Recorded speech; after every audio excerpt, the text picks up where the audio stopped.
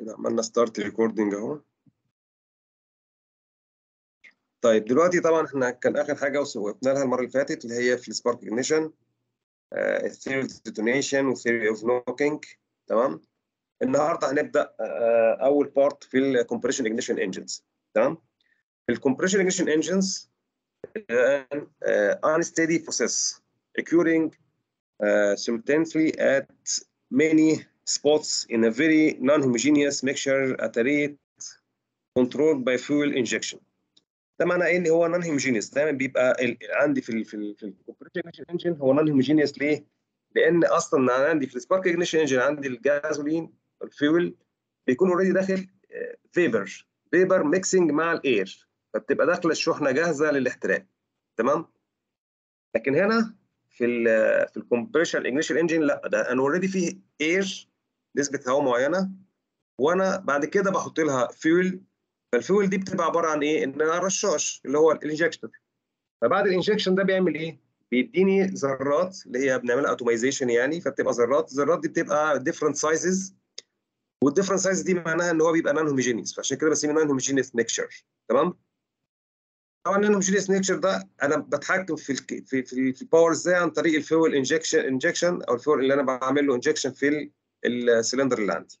يبقى ده بالنسبة لل compression طيب. Because the incoming air is not throttled. طبعا هنا في ال compression ignition engines ما فيش عندي throttling. يبقى خلاص هو ال intake manifold ال piston نازل. ما فيش عندي ما, بي ما بيلاقيش أي إيه throttling عندي. في ال throttling اللي هي الخنق يعني ففي في ال spark ignition engine بيبقى عندي خنق ال throttle لأن أنا طبعا بتحكم عن طريق ال ال ال كمية الشحنة اللي داخلة قد إيه فأنا بعمل خنق هنا ما فيش خنق فال pressure هنا داخل بيبقى تقريبا قد الضغط الجوي فعندك هنا ال pressure in the intake manifold is constantly at a value close to 1 atmospheric. يعني تقريبا بيبقى ال air اللي داخل تقريبا قريب من ال 1 atmospheric. أقل حاجة بسيطة طبعا عشان يبقى فيه flow بس بيبقى قريب من ال atmospheric pressure غير ال vacuum اللي أنا بشوفه في ال spark ignition engine. This makes the pump work loop عند ال intake valve of the engine cycle very small. يعني هنا في losses طبعا بتحصل لأن نتيجة إن أنت خانق الهواء والبيستم نازل فده بنسميه إيه؟ ال work loop أو ال pump work loop دي ال pump work دي اللي هي كأنها pumping إن أنت بتخسر شوية work إن أنت عشان تعمل إيه؟ suction أنت قافل الهواء وبتعمل suction كأنك يعني يعني لو أنت مثلا عندك سرنجة وسددتها من فوق وبتسحب فبتلاقي السحب صعب غير لو أنت فاتحها وبتسحب أسهل فايه ده البامب ورك هنا بيكون اقل طبعا في الكompression ignition engines with a corresponding better thermal efficiency compared to spark ignition engine. طيب. Compression ratio of the modern compression ignition engine ranging from 12 to 24 يبقى انا عندي compression ratio تبقى تتغير في الانجنز من 12 to 24 because the overall air fuel ratio on the in which compression ignition engine operates uh, ثانية. uh, operate is quite lean. في الكومبريشن انرجي بيبقى عندي شوية لين يعني إيه لين ميكشر يعني دايما اير تو فيول ريشيو مالها بقى أكبر من 1 أو ال ال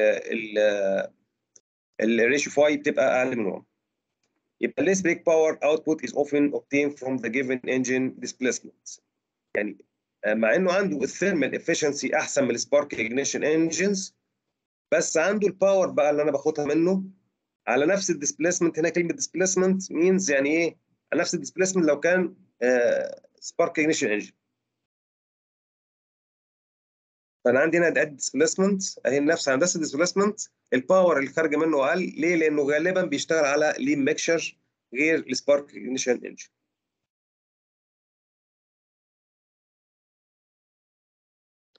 ال injection time is usually about 20 degrees of crankshaft rotation starting at about 15 before the center and ending about 5 degree after top dead center. يبقى ال injection time تقريبا بياخد 20 degree من ال crank angle. كل الفترة دي بيبقى فيها injector، ال injector شغال بيحقن الوقود في حقن الوقود. بيبدأ منين؟ تقريبا قبل ال top dead center ب 15 وبينهي الحقن بتاعه فين؟ بعد ال top dead center بحوالي 5 degrees. طيب. ال ignition delay is fairly constant in real time. So يبقى في ال real time تقريبا consider so that the higher engine speeds كل ما سرعة ال engine بتزيد ال fuel injection must be started slightly earlier in the cycle. عشان ال duration دي بتكون ثابتة مع ال time فأنا إيه لما ال engine يبقى أسرع يبقى أنا لازم أبدأ إيه بدري شوية. طيب. ال combustion process طبعا أنتوا فاكرين ال processing في ال spark ignition engines كانت عندنا هم ثلاثة حد فاكرهم؟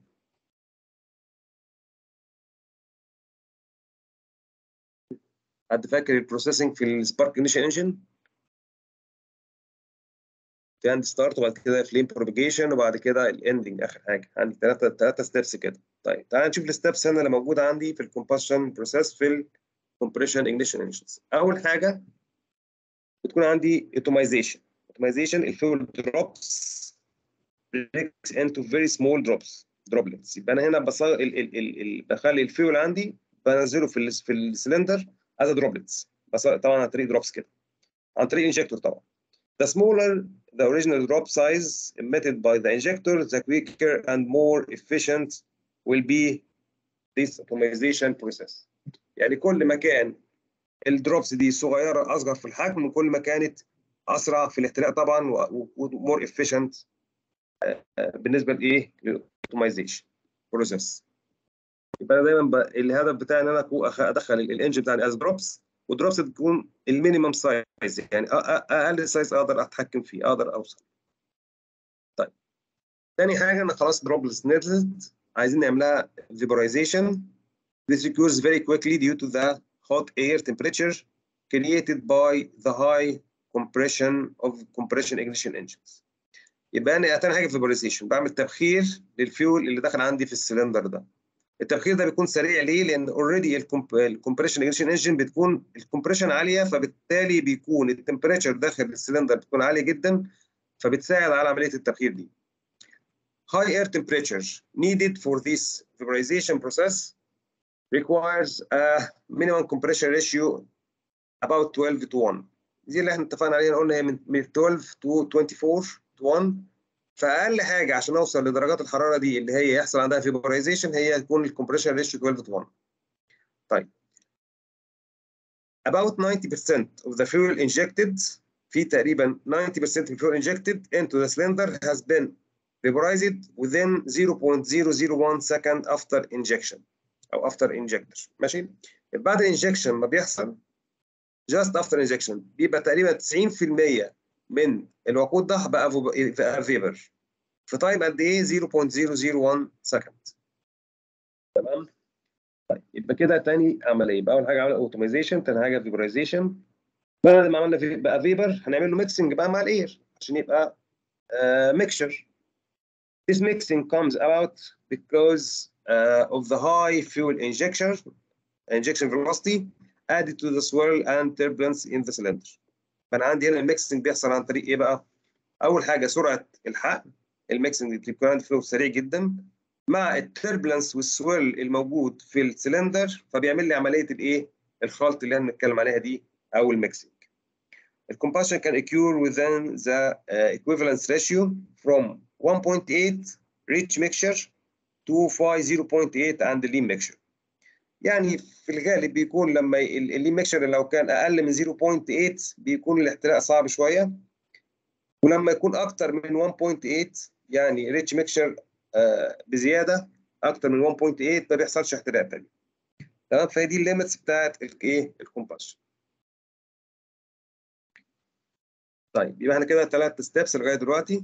عملنا atomization vaporization بقى vapor بعد كده mixing مع ال swirl وسرعه ال injection هنا بقى تعالى نشوف بقى ال injection هنا لغاية دلوقتي لسه ما حصلش احتراق The following figure shows the non-homogeneous distribution of the air fuel ratio that develops around the injector أو injected fuel jet. بلاقي عندي هنا ال injector ال drops اللي بتنزل بيكون في النص liquid بيبقى معظمه liquid وده بنسميه ال zone A. بعد كده بيبقى فيه mixing لغاية ما يوصل لل zone E. إيه الفرق بين ال zone A وال zone E؟ ال steps عندي فيه خمسة steps تقريبا.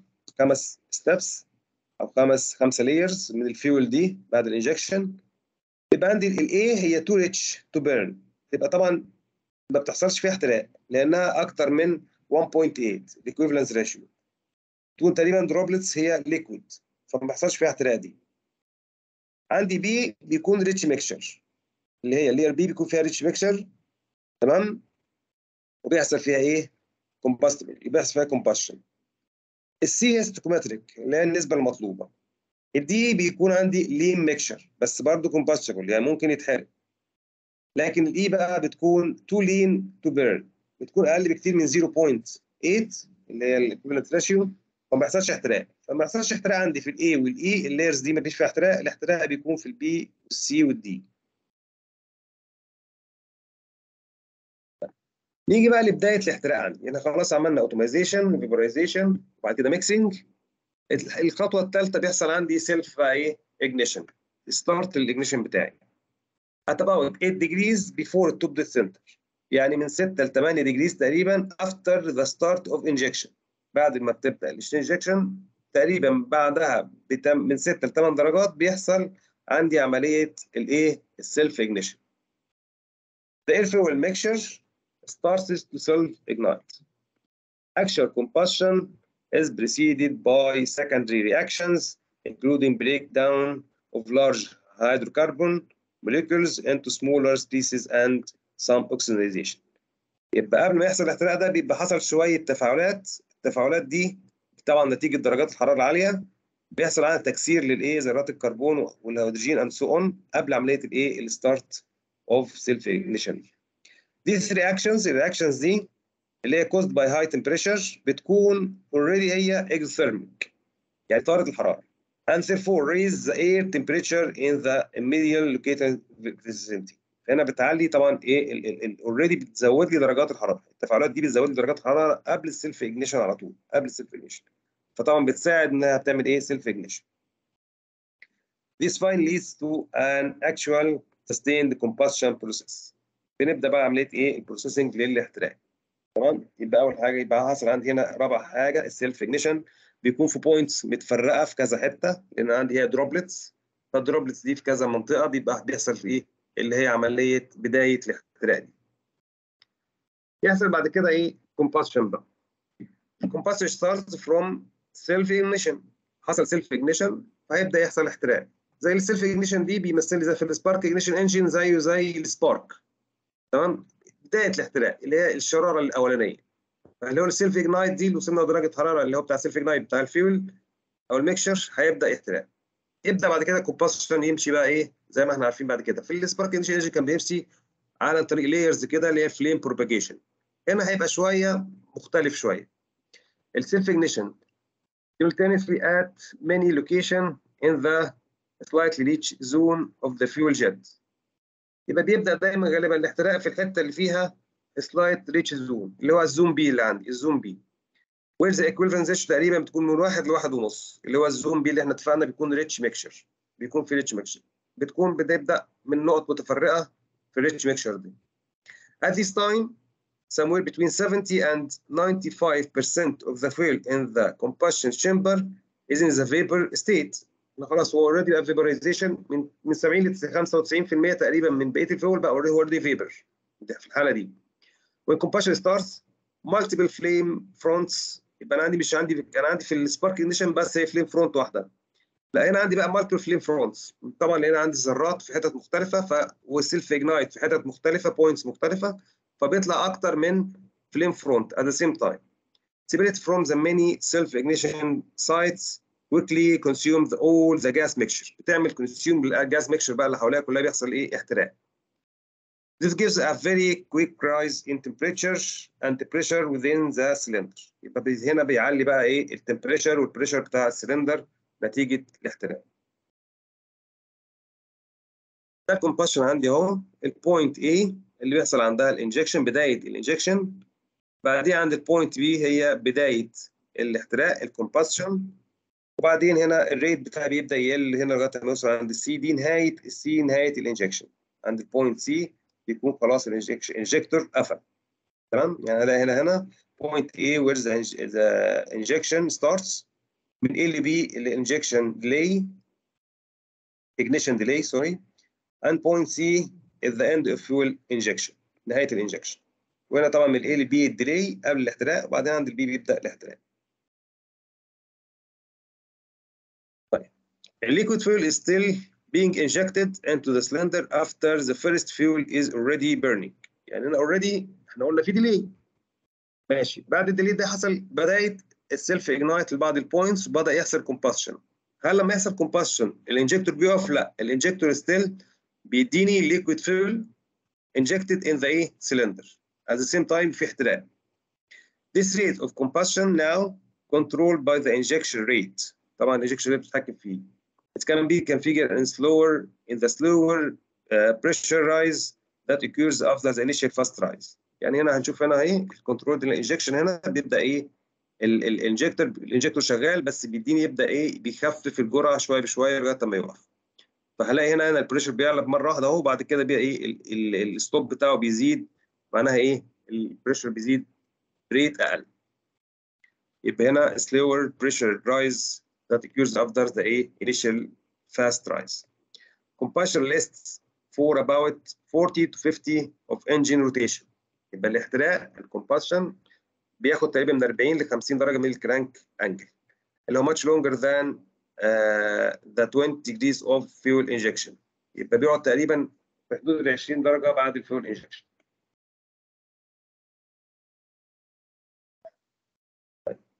في أحيانا هنا example هنا أحيانا بيسأل على حاجة اسمها ال cycle cut off ratio ال cycle هنعرف إيه cut off ratio دلوقتي.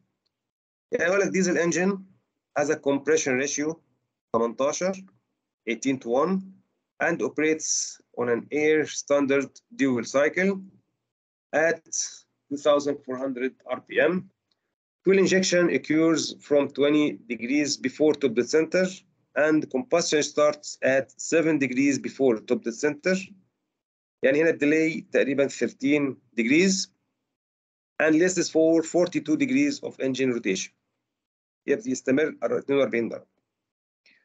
The ratio of connecting rod length to the crank offset is R equal 3.4 يبقى دي عندي ليه الكرانك ريشيو للكرانك اوفست تمام الكونكتنج رود على ال crank shaft طيب. إيه required calculate عايزين ignition delay قد إيه بال time ignition delay هي 13 degrees هنا واضحة؟ عايزها قد إيه بال time وال cycle cut off ratio طيب بالنسبة لل ignition delay الأول ال combustion start 7 degrees before top uh, before top center. And fuel injection start at 20 يبقى ال ignition delay هي 13 degrees of engine rotation. ال ignition delay بقى بال بال بال time is time يبقى 13 degrees هنقسمها على 2400 على 30 revolution per second مضروبة في 360 degrees per revolution هيديني ال time اللي هو ال delay اللي هو 0.0009 seconds طيب تيجي تاني حاجة ال cycle cut off ratio هو rule كده المفروض بتحفظوه بس إيه هي ال cut off ratio بقى؟ حد عنده فكرة؟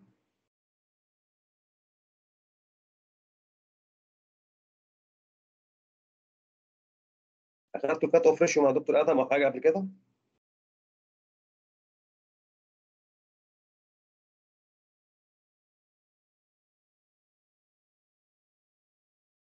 يا شباب حد لا يا دكتور ما خدناش لا لا ما خدناش طيب ال cut off ratio دي اللي هي ال volume على ال volume بتاع ال compression اللي هو ال part اللي بيحصل فيه Q in بيحصل فيه added لل heat للحرارة تمام؟ اللي هو ال part ده اللي هو أنا عندي هنا ال compression ratio اللي هي ال V R بنسميه V 1 على V 3 اللي هي ال V 1 على V 3 تمام؟ على V 2 sorry ال V 1 على V 2 اللي هي ال volume total volume على ال volume بتاع ال compression chamber تمام؟ دي كلكم عارفينها ال compression ratio كلكم عارفينها. ال cut off ratio بقى دي اللي هي V 3 على V 2 ال V 3 على ال V 2 اللي هو ال part اللي حصل فيه Q add ال Q in اللي هي دخلت على السلندر اللي حصل فيها احتراق حصل فيها fuel inject and combustion دي الفترة دي required إن أنت تحسبها بنسميها ال cut off ratio ال cut off ratio ليها rule ال rule بتاعها هو 1 plus half R C minus 1 مضروبة في ال دكتور معلش. اتفضل. ممكن تاني بس ال cut off ratio دي ال cut off ratio ماشي ال cut off ratio أنت عندك دلوقتي فيه آه إحنا وصلنا خلاص لل top dead center صح؟ بعد ال top dead center بيبقى فيه قد إيه حصل عندي احتراق وانتهى إمتى ال combustion مش ال combustion بيفضل عندي شغال من التو... من قبل ال top dead center في احتراق تمام دي في ال cycle بتاعتنا العادية من قبل ال top dead center صح؟ تمام. معايا؟ مع طيب. حضرتك آه. طيب. هو بقى فضل فيها عندي Q in Q added للحرارة اللي اتضافت دي لل- لل engine فضلت من بعد ال top dead center دي فضلت معايا لغاية قد إيه؟ هنا عند ال point 2 طبعا دي اللي هي ideal cycle يعني مش دي الحقيقة بس يبقى دي ال ideal المفروض من عند ال point 2 بدأت في في احتراق. فالاحتراق ده فيه fuel injection ال fuel injection مثلا سين هو واقف عند ال point دي. خلاص. بس still الاحتراق موجود. إحنا قلنا بيقعد لسه فترة طويله شوية في احتراق في احتراق. لغايه هنا هنا خلص الاحتراق خلاص. بس لسه البيستون بيحصل له إيه؟ نازل. تمام. طيب إحنا عايزين نعرف بقى انتهى من نهاية الاحتراق هنا ال point 3 دي انتهى عندها الاحتراق خلاص. ما بقاش عندي فيه Q add ما فيش عندي حرارة بضيفها أو في power من ال من الفيول بضيفه. تمام؟ فهنا بيحصل. work out work out تمام؟ فهي دي هي دي ال ratio اللي أنا عايزها من 3 ل 2 دي. تمام؟ دي على ال ideal cycle دي بنحسبها إزاي بقى عن طريق ال rule ده؟ اللي هو فيه 1 plus half R C وال R C دي اللي هي إيه؟ اللي هي آه 18 لواحد اللي هي إيه؟ اللي هي given هنا اللي هي ال compression ratio وفي عندك ال R الثانية دي اللي هي بتاعت ال crank to connecting rod ratio اللي هي 3.8 ف 1 plus half RC minus 1 R plus 1 cosine theta ال theta دي اللي هي قد إيه angle من بعد ال top dead center لنهاية الاحتراق ال angle دي قد إيه minus radical R square minus sine square theta طيب هنا في ال في ال rule ده just إن ال rule إحنا بنطبقه. ال RC اللي هي compression ratio 18 وال R connecting rod هي given اللي هي آه هنا 3.8 دي ال angle بقى اللي هي حصل فيها الاحتراق هنا هتلاقي عندك الاحتراق إحنا قلنا هنا آه 42 قعد 42 يبقى في delay و start 7 before يبقى 7 before وبعد كده فضل في الاحتراق فشغال 42 degrees يعني بعد ال top dead center بعد إيه؟ يبقى نعمل minus 7 لأن ال 7 دي قبل ال top dead center before ال top dead center ودي total شيل منها الجزء بتاع ال before dead center يبقى عندي 35 اللي هم after ال top dead center اللي هي 35 اللي هي هنا 35 degrees تمام؟ يطلع عندك هنا ال cut off ratio 2.91 واضحة ولا حد عنده سؤال؟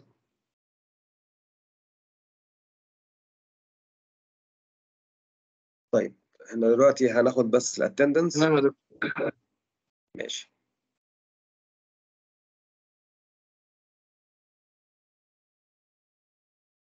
كده خدنا attendance هنوقف recording بس كده شوية.